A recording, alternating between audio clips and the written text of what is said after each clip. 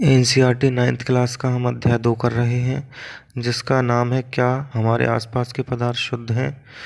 और जो पाठ के प्रश्नोत्तर हैं, उनके ऊपर हम वीडियो पहले ही बना चुके हैं। अगर आप उन वीडियोज़ को देखना चाहते हैं तो चैनल पर जाकर देख सकते हैं।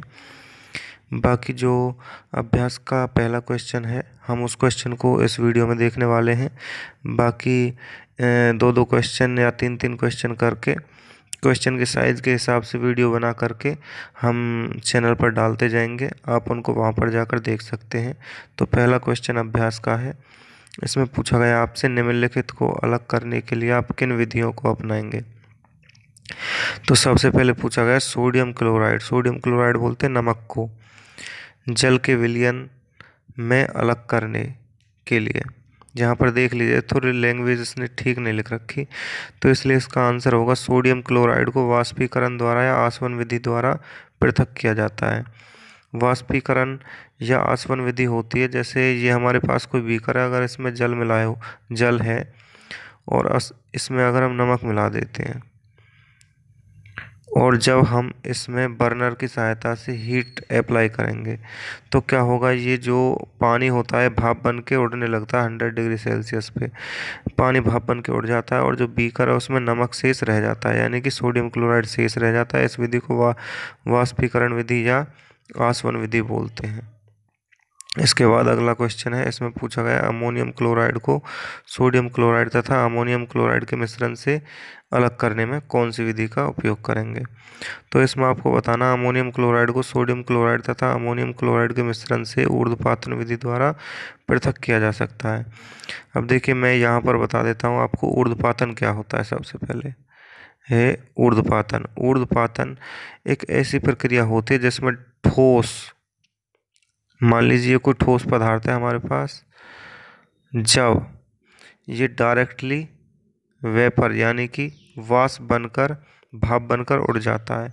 जब कोई ठोस डायरेक्ट भाप बनकर उड़ जाता है, उसको हम बोलते हैं ऊर्ध्वपातन जैसे जो टॉयलेट में हम यूज़ करते हैं ओडोनिल ओडोनिल ठोस होता है और वो कुछ ही, कुछ दिनों में भाप बन के उड़ जाता है। तो इस प्रक्रिया को हम बोलते हैं ऊर्ध्वपातन उड़ने वाले पदार्थ होते हैं और जो अमोनियम क्लोराइड होता है ऊर्ध्वपातित पदार्थ होता है, उड़ने वाला पदार्थ होता है। जब सोडियम क्लोराइड और अमोनियम क्लोराइड को एक साथ रखा जाता है तो खुला छोड़ दिया जाता है तो अमोनियम क्लोराइड उड़ने वाला पदार्थ होता है, जो कि सॉलिड होता है, यानी कि ठोस होता है और ये डायरेक्टली वेपर, यानी कि भाप में कन्वर्ट हो जाता है वास बन के उड़ जाता है।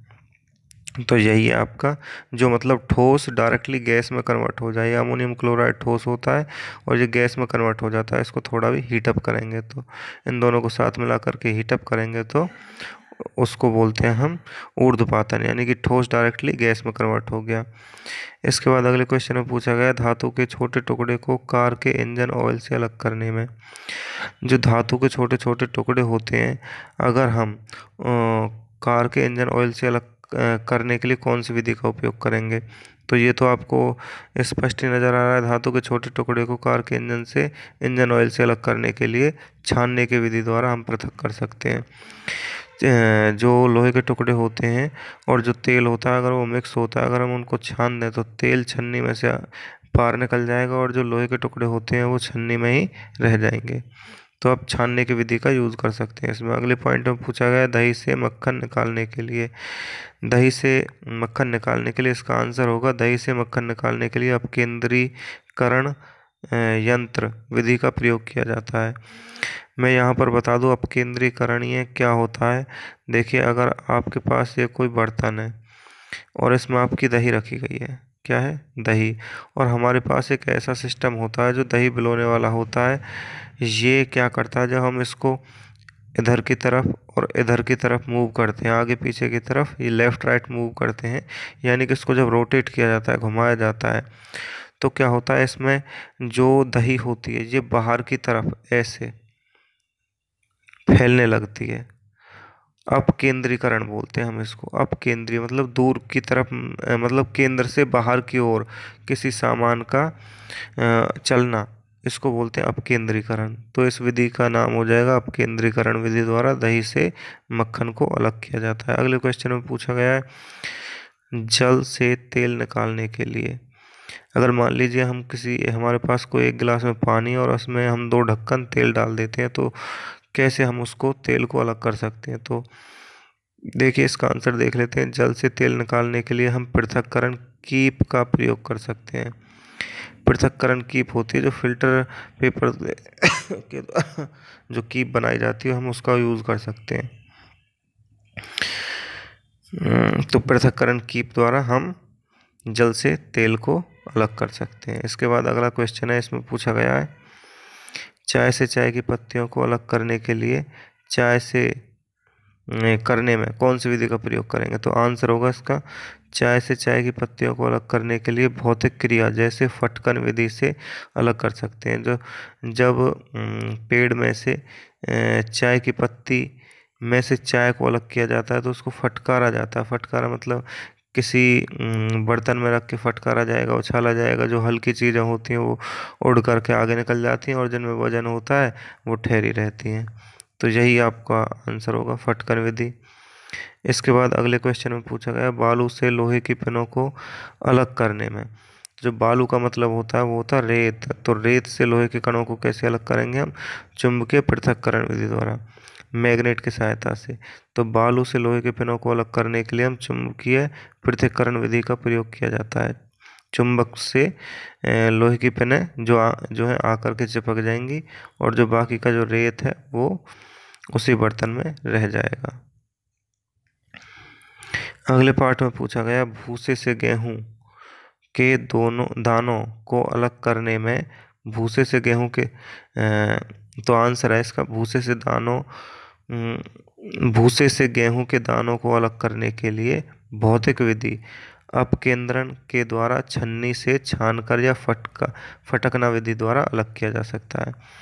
तो देखिए, ये भी बिल्कुल आसान है। अपकेंद्रण विधि मतलब जैसे जब भूसे से गेहूँ को अलग किया जाता है तो जो गेहूँ को ऊपर से गिराया जाता है एक तो वो विधि हो जाएगी जिसको अपकेंद्रण विधि बोलते हैं, और छन्नी छानने के द्वारा जो पतले पदार्थ, जो भूसे का पतला पदार्थ होता है, वो छन के छन्नी से बाहर निकल जाता है और गेहूँ छन्नी में रह जाते हैं और यह फटकारने विधि द्वारा हम अलग कर सकते हैं।